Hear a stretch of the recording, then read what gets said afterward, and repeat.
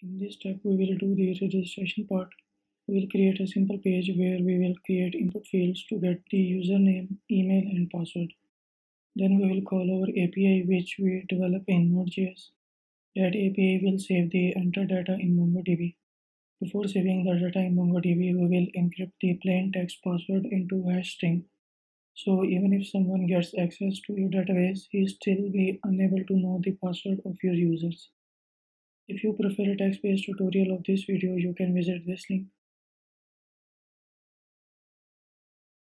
First, in your components folder, create a file named registercomponent.vue. We need to import our components in main.js because in main.js we are setting the routes.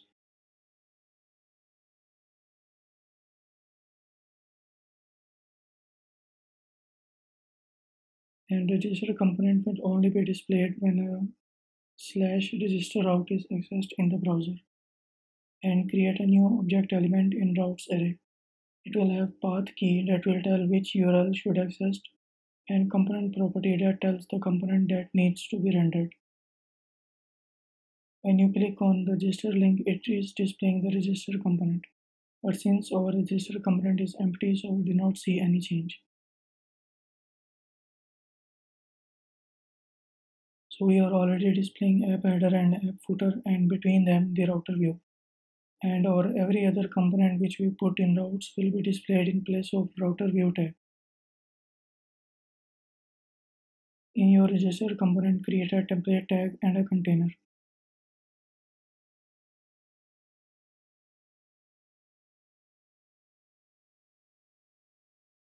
Create a form for registration and create an input field for name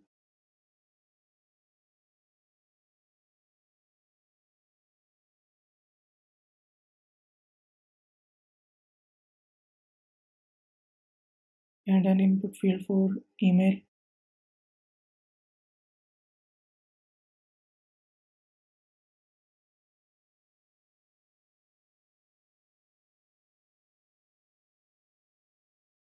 and an input field for password.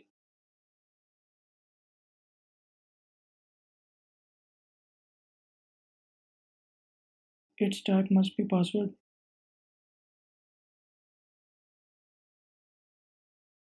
and a submit button.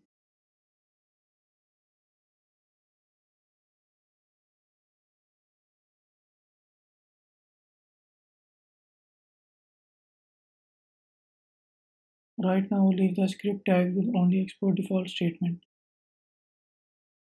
So you will see your register page. You will not see it on any other link because we have registered it on slash register out only. Then in your form tag, add a submit event listener that will be called when the form is submitted. We will be using v on submit event because it allows us to call the Vue.js method. It also has an attribute prevent. This will prevent the form from submitting. This is equivalent to the vanilla JavaScript event.prevent default method. And in submit button, we will display the text loading when the form is submitted and when the response is received from the server then we will change it back to the register. In order to do that we need to bind the value attribute to the vue.js and put a condition that if the variable is loading is true then we display the text loading. And when this variable's value is false then we set the value as register.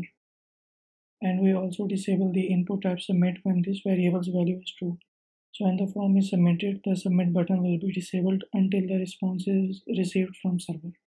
So now we just need to create a function that sends an AJAX to the Node.js server. To send an AJAX from Vue.js app, we need a module named Axios. So open terminal in web folder and run the command npm install Axios. And we will also be installing a library called Sweet Alert 2 to display pop-up alerts and confirmation dialogues. Once installed, run the app again. And in your register component, import both modules.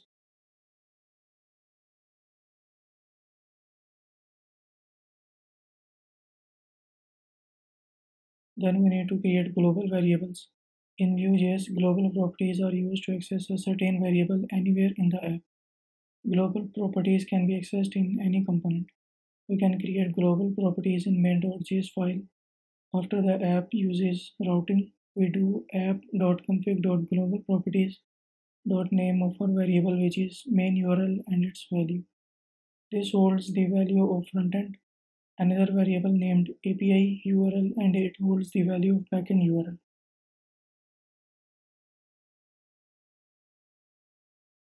In export default, create a data object and it will return all the variables we will be using in this component. Add a methods object where we will create all our methods used in this component.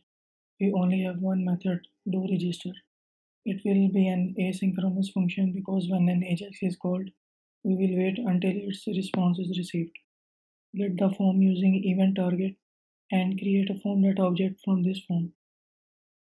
Set the is loading to true. As soon as it is set to true, the submit button value becomes loading and it will get disabled. Then we call an AJAX. We set the statement await. This keyword will wait for this command until it is finished. Axios.post method calls the AJAX request with method as post.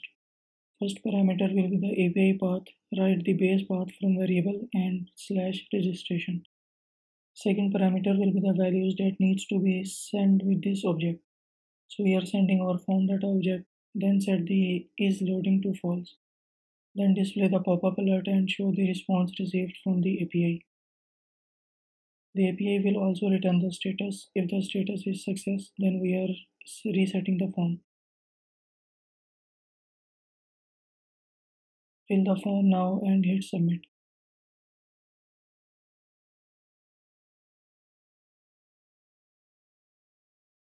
You will see an error that the origin has been blocked by CORS. It is because our frontend and API are not on same server. We can remove this error by opening API slash server.js and before the http.listen, you need to add the Node.js built-in middleware that will allow request from this server.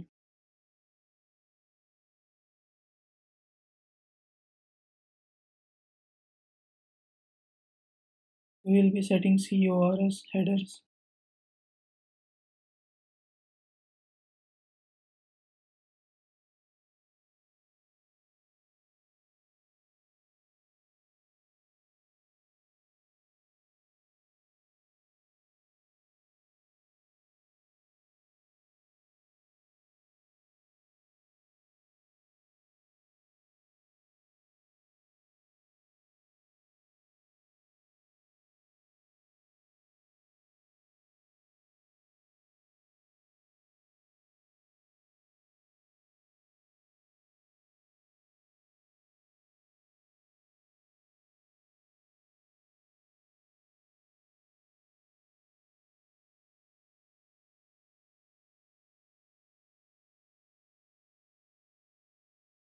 And finally the next function will continue the request.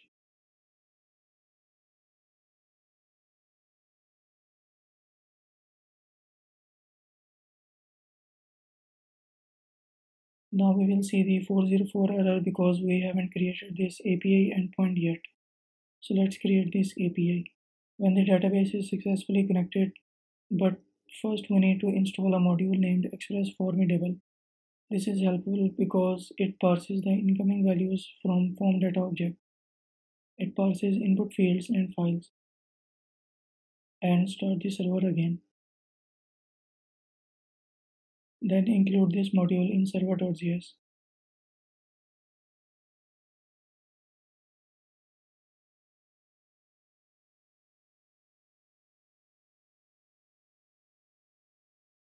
set its instance as a middleware. We mentioned earlier that we will be converting plain text password into encrypted strings. To do that, we will be using a module called bcrypt. So install that module using npm install bcrypt.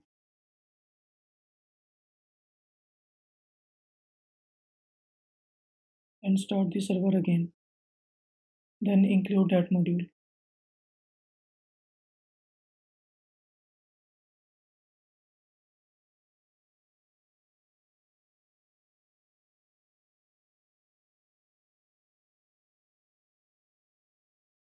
Finally create an API. That this will be a post method The endpoint is registration. It will be asynchronous because we will wait during querying on MongoDB. First parameter will be request and it will have all the input fields from client's form. And second will be register. It is used to send response back to the client. Get all the values from input fields.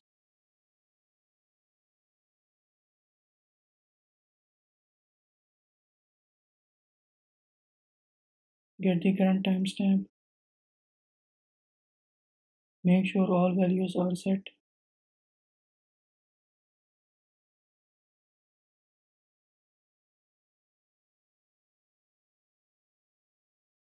Then check if that email already exists.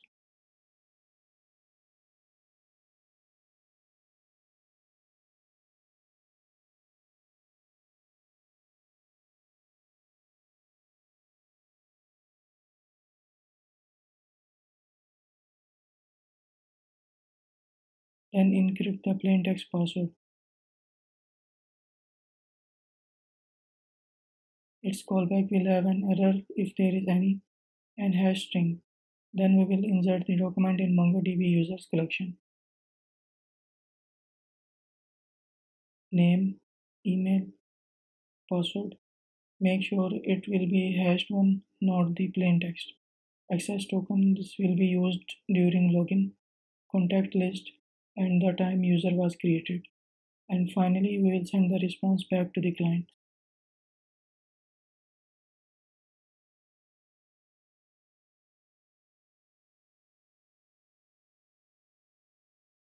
Now if you fill the form and hit submit, you will see a success pop up and refresh your MongoDB Compass.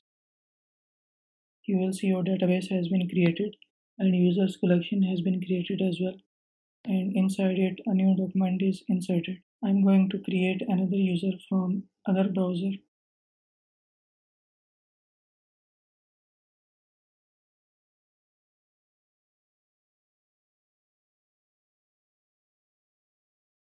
refresh and now you will see two documents. In the next tutorial we will do the login part.